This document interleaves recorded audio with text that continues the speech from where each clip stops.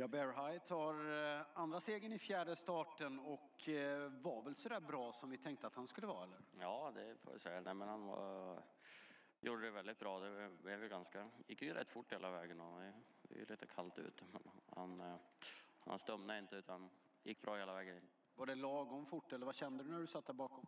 Ja, men han blev lite, lite pigg i ledningen. Det blev han. Jag hade gärna kunnat kört någon sekund sakta, men han blev lite pigg när vi kom till ledning. Eh, hur såg du på startmomentet då? För att eh, du blev lite utmanad men det såg ändå ut som du hade koll eller? Ja, jag laddade väl inte max direkt utan trodde väl att jag skulle kunna glida lite till ledningen. Sen kom Marcus snabbt, då fick jag ju släppa av honom lite. Men han är ju väldigt snabb så att uh, han redde ut det. Hur stor talang tycker du att det rör sig om? Ja, väldigt fin talang. Det, måste, det är väldigt, väldigt bra gång i honom. Han rör sig väldigt lätt och fint. Spännande att följa fortsättningen där. Stort grattis till det Magnus. Tack så mycket.